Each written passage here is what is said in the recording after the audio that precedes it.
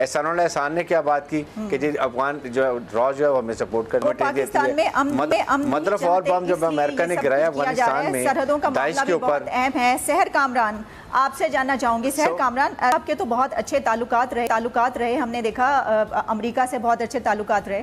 تو آپ کیا دیکھ رہی ہیں کہ خواجہ آصف کا یہ جو دورہ ہے یہ اچھے طریقے سے وہ لابنگ کر سکیں گے؟ پاکستان اپنا موقع پہنچا سکے گا ان تک؟ دیکھیں جو ذمہ دار سربراہ ہوتے ہیں، وہ کوشش یہ کرتے ہیں کہ ان کی خارجہ پالیسی گول سامنے رکھیں اور تمام جو ممالک ہیں، ان کے ساتھ سفارتی رابطے جو ہیں، وہ ضرور رہیں۔ ہر لیول کے اوپر، سفارت خانے کے لیول کے اوپر پھر ہمارے جس طرح سے ملٹری کے بھی رابطے رہتے ہیں، اسی طرح سے سربراہان مملکت کے بھی رابطے رہتے ہیں۔ تو یہ ہوتے ہیں کہ آپ اپنے جو ہے گول جو ہیں وہ ڈیفائن کرتے ہیں۔ خواجہ آصف صاحب ابھی نئے نئے وزیر خارجہ بنے ہیں اور جو پہلے مشیر تھے، سرتاج عزیز صاحب، وہ بھی اب نہیں ہیں۔ تو میں یہ سمجھتی ہوں کہ بہت کم ان کا ایکسپیرینس ہے ایز اے وزیر خارجہ۔ یہ ایک، آپ جیسچر کے طور پر دیکھیں کہ جی ان کی جو وزٹس ہیں، تو میرے خیال میں خاموش پیغام جو ہے وہ پاکستان کی فورن پالیسی کی جو ڈائریکشن ہے، اس کو ضرور جو ہے وہ ریفلیکٹ کرے گا۔ لیکن دیکھنے کی بات یہ ہے کہ ہم بات کرتے کیا ہیں؟ جو آپ نے کہہ دیا کہ وہ ابھی نئے نئے ہیں تو ان کی صلاحیتوں جو شک کیا گیا ہے وہ شاید نون لیگ کی جانب سے اس پہ اعتراض ہے۔ لیکن ہم نے بریک کی جانب بڑھنا ہے۔ جب بریک سے واپس آئیں گے تو ہم بات کریں گے کہ روہنگیا کے مسلمانوں پر جو ظلم و ستم کے پہاڑ توڑے جا رہے ہیں کیا پوری دنیا میں کوئی نہیں جو اس ظلم کو دیکھ سکے اس کے خلاف آواز اٹھا سکے؟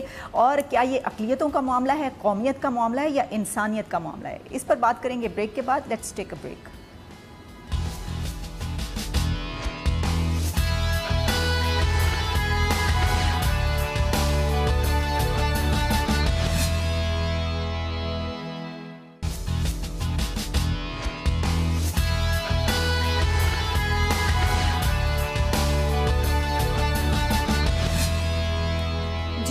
welcome back to real politics سب کی زبانوں پر ایک ہی سوال ہے کہ نوبیل لوریٹ آنگ سان سوچی کہاں ہیں اور وہ اس پہ کوئی آواز کیوں نہیں اٹھا رہی؟ ان سے ان کا نوبیل پرائز واپس لیا جائے۔ بہت اہم سوال اور واقعی یہ بنتا بھی ہے۔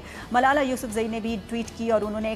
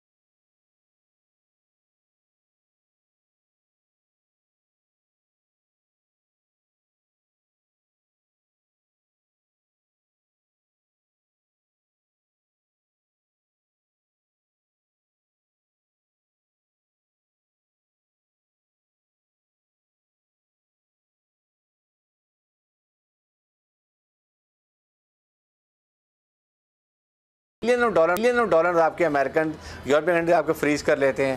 آپ کو آپ وہ پیسہ مسلمان ملکوں میں لے کے ہیں ڈیولپمنٹ کریں انڈسٹریل ڈیولپمنٹ کریں۔ آپ وار مشینری خود بنائیں۔ And then do something اگر آپ تینتیس ملکوں کی آپ ایک کولیشن اینٹی ٹیررس فورس بنا سکتے ہیں، آپ اپنے ملکوں کی ایک ملٹ جو ہے یہ آرگنائزیشن اور اسٹرانگ جو ہے؟ اس میں آپ ہر ملک، آپ ہر ملک کے انٹرسٹ کی بات کریں، مسلمان ملکوں کو جو بھی پرابلم ہے ان کی بات کریں۔ اور یہ آپ کے ساتھ آہستہ آہستہ ہو رہا ہے، جس طریقے سے روہنگا کا جنوسائڈ ہو رہا ہے۔ میں حیران ہوں کہ آپ کے اسلامک ملک کہاں خاموش بیٹھے ہیں۔ Why should you blame America اور یونائٹڈ نیشن ہاں آپ کی انٹرنیشنل ہیومن رائٹس آرگنائزیشن کہاں پر ہیں آپ بنگ آپ پاکستان میں آپ ٹیررسٹ کو ہینگ کرتے ہیں تو انٹرنیشنل آرگن کہتی ہیں جی آپ نے ان کو ہینگ کیا ہیومن رائٹس ولیشن ہے۔ بنگلہ دیش میں جماعت اسلامی کے نبے نبے سالوں کو لوگوں کو آپ وہ ہینگ کرتے ہیں کوئی بولتا نہیں ہے۔ تو دیز آر دا ایشوز یہ ابھی جینوسائڈ جو ہو رہی ہے جو ظلم ہو رہا ہے روہنگس کے ساتھ کیوں کیا جا رہا ہے؟ ان کو آپ نے ان کو انہوں نے ان کو شہریت ہی نہیں دی ہے۔ وہ بیچارے ابھی تک بنگال بنگلہ دیش سے آگے برٹش رول کے وقت میں آگے بیٹھے ہیں اور ان کو وہاں نہیں دی گئی اور ان کو الاؤڈ جب مردی ملک میں چلے گئے۔ کوئی مسلمان ملک نے ان کو ایکسپٹ کیا ایک ملین لوگ ہیں ٹوٹل وہ ون پوائنٹ ون ملین حالات ایسے گزرے ہیں کہ جس کی بنا پر جو ہے ہم یہ کہہ رہے ہیں سیر بتائیے گا یہ اگر ہم اگر ہم تاریخی تناظر میں دیکھیں کیونکہ پیپلز پارٹی تو انسانی حقوق کے لیے ہمیشہ آواز اٹھاتی ہے آپ اقلیتوں کی بات ہمیشہ کرتے ہیں مائنورٹیز کی۔ تو آپ کے خیال میں یہ اقلیتوں کا معاملہ ہے یا معاملہ ہے یا یہ انسانیت کا اس وقت ضرورت ہے کہ وہ اٹھ کھڑی ہو۔ کیا کہیں گے آپ؟ یہ یہ انسانیت کا معاملہ ہے، مگر اور ہم اپنی اپنی آواز ضرور اٹھا رہے ہیں۔ الگ الگ۔ کمزور آواز۔ ہم نے اسلامی ممالک کی ممالک کی بات کی، سعودی عربیہ اس کو یونائٹڈ نیشن میں لے کے جا رہا ہے، پاکستان سے خط جا رہے ہیں جو ہے پولیٹیکل لیڈرز کے بیانات آ رہے ہیں۔ ہم سب سوشل میڈیا پہ بات کر رہے ہیں، مگر کیا ہم مس کر رہے ہیں؟ وہ مسلم یونٹی کہاں سے لائیں ذوالفقار علی بھٹو جو تمام مسلم ممالک کو اکٹھا کر دے ایک ایجنڈے پہ، اس جرم کی پاداش پہ اس کو پھانسی پہ لٹکا دیا جائے۔ آج جو ہم مس کر رہے ہیں کہ آج او آئی آج او آئی سی کا پلیٹ فارم ہے، مگر فعال نہیں ہے۔ آج یونائٹڈ نیشن میں انسانیت کی بات ضرور ہوتی ہے۔ United nation human right organization ضرور ہے۔ لیکن مسلمانوں کے لیے چاہے وہ برما کے اندر جینوسائیڈ ہو، وہ کشمیر میں ہو یا فلسطین میں ہو، وہ اندھے، بہرے اور گونگے ہیں۔ افسوس کی بات یہ ہے کہ ہم سب اپنے اپنے اندرونی اور جو ہے خلف شعار میں اتنے گھرے ہوئے ہیں کہ ہماری وہ جو یکچیتی ہے، مسلم ممالک کی، وہ جو ہے نظر نہیں آتی۔ پلیٹ فارم ضرور ہے۔ ہم یہ کہیں کہ پلیٹ فارم نہیں ہے پلیٹ فارم ہے پلیٹ فارم کو فعال نہیں کر رہے. ہمارے جو اپنے اپنے جو مفادات ہیں وہ اتنے الگ الگ ہو چکے ہیں کہ ہم کسی ایک ایجنڈا پہ اکٹھا نہیں ہو رہے. آج اگر مسلم ممالک اکٹھے ہو جائیں اور وہ کہیں کہ جی ہم نے کوئی ٹریڈ نہیں کرنی کوئی ٹریڈ نہیں کرنی ویسٹرن سے ویسٹرن ممالک سے ہماری جانب سے جو خط لکھا جانا تھا۔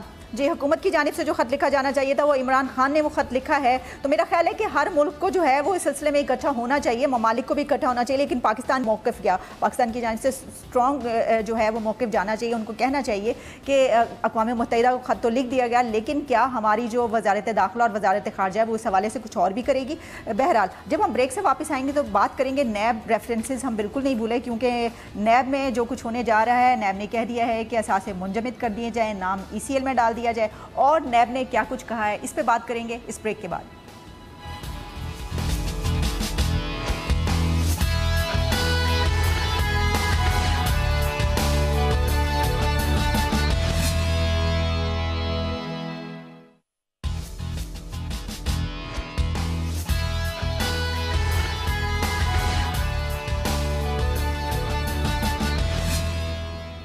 ایک مرتبہ پھر آپ سب کو خوش آمدید کہتے ہیں۔ ریئل پالیٹکس میں بات کریں گے نیب ریفرنسز کی۔ نیب کی جانب سے سفارش کر دی گئی ہے کہ نام ای سی ایل میں بھی ڈال دیے جائیں شریف خاندان کی اور اس کے ساتھ ساتھ اثاثے بھی منجمد کر دیے جائیں۔ اس کے علاوہ انہوں نے کہا ہے کہ احتساب عدالت جو ہے وہ ریفرنسز دائر کرے گی، جس میں چار ریفرنسز ہوں گے۔ اس میں زیزیہ جو مل ہے اس کا معاملہ بھی ہوگا۔ اس کے ساتھ ساتھ یہ بھی کہا گیا ہے کہ اسحاق دار جو ہیں، ان کی جو اثاثے ہیں وہ ان کی انکم سے زیادہ کیوں ہیں؟ یہ بھی دیکھا جائے، اس کے دیکھا جائے، اس کے اوپر بھی ان سے پوچھا جائے۔ بریگیڈیئر صاحب، یہ اب ریفرنسز کا آغاز ہونے جا رہا ہے۔ ستمبر کا مہینہ جو ہے وہ بہت سرگرم ہوگا۔ اس حوالے سے آپ کو کیا نظر آ رہا ہے؟ کیونکہ شریف خاندان میں ہم دیکھ رہے ہیں کہ نواز شریف صاحب باہر اور اب مریم جو ہیں، انہوں نے کمان سنبھال لی ہے۔ تو شریف خاندان کس طریقے سے اس کا سامنا کر پائے گا نیب کے ریفرنسز کا؟ دیکھیں basically law should be for the same all citizen چاہے وہ غریب آدمی ہے، چاہے وہ امیر آدمی ہے law is a law and that is law of the state اور لا آف دا لینڈ بات یہ ہے کہ آپ نے اگر یہ امیجیٹلی جیسے ریفرنس آپ جا رہے ہیں اپروول کے لیے چیئرمین نیب کے پاس دا فرسٹ اسٹیپ کیونکہ I have served in NAB as a as a director financial crimes آپ کو چاہیے کہ ان کے ارسٹ وارنٹ نکالیں اور ای سیل پہ ڈالیں۔ چیئرمین نیب کا بھی دو دن میں پتہ چل جائے گا کہ وہ کیا کر رہے ہیں، کتنا کس کا ساتھ دے رہے ہیں۔ If is very neutral fair and he looking of the interest of the state تو یہ ان کو کام کرنے چاہیے۔ اگر یہ نہیں کرتے ہیں دیٹ مین کہ یہ کمپرومائز ہوئے ہوئے ہیں۔ اور وہ بھی اور پھر supreme court has to come in they have to order کہ ان کو آپ اریسٹ وارنٹ نکالیں تاکہ یہ اپنے بیل لیں وٹ ایور لیں اور ساتھ ان کو ایشل پہ ڈال دیں تاکہ ملک میں باہر چلے مطلب جائیں گے۔ نواز تو ویسے باہر چلے گئے میں نہیں ڈالے گئے یا ابھی تک اریسٹ نہیں کیا گیا تو اس کی وجہ یہ ہے کہ آپ کو لگتا ہے کہ نیب کے چیئرمین جو ہیں وہ تھوڑے سے متاثب آپ کو نظر آ رہے ہیں کہ ابھی تک نام ای سی ایل میں نہیں ڈلے نیب ٹھیک طریقے سے کام نہیں کر رہی۔ ایپسولوٹلی اس پہ تو کوئی ڈاؤٹ نہیں، اس پہ تو کوئی ڈاؤٹ ڈاؤٹ نہیں ہے۔ پہلے یہ پناما یہ پناما ایشو کو ان کے پاس پاور بھی تھی، اس وقت تھی کیپیسٹی بھی تھی اتھارٹی تھی۔ Issue taken the Panama issue آپ کے پاس سارے قسم کے لوگ ٹرینڈ موجود ہیں۔ اس وقت آپ اگر یہ آپ کے سامنے ساگڈر صاحب آپ کے فائنینس منسٹر بھی ہیں، ان کا ریفرنس بھی جا رہا ہے۔ اور نہ اس کے ریسٹ نکلے، نہ ان کو ایشل ڈالے، آرام سے بیگ اٹھائیں گے۔ ان کے کسی میں پاکستان کسی میں پاکستان کو تو ایسیٹس ہیں ہی نہیں۔ تو یہ اب آپ کو کرنے کی ضرورت ہے۔ یہ چیزیں انڈیکیٹرز ہیں کہ کتنا فیئر ٹرائل جی یہ کرنے کی بہت ضرورت ہے۔ بہت شکریہ ہمارے پروگرام کا ختم ہوا چاہتا ہے۔ بریگیڈ کا بہت شکریہ سہر کامران آپ کا بہت شکریہ شوکت یوسف زعید صاحب آپ کا بہت شکریہ۔ اس پروگرام کے بعد آپ دیکھ سکیں گے پی این آر جس میں فیصل عزیز خان آپ کو بتائیں گے نیب کے حوالے سے کیا ہونے جا رہا ہے۔ نیب کی بات کریں گے اور روہنگیا کے مسلمانوں پر جو ظلم و ستم ڈھائے جا رہے ہیں اس پہ بھی بات ہوگی۔ پاکستان نیوز روم میں ریئل پالیٹکس سے عالیہ کو اجازت دیجیے دوبارہ ملاقات ہوگی۔ دیکھتے رہیے بول نیوز۔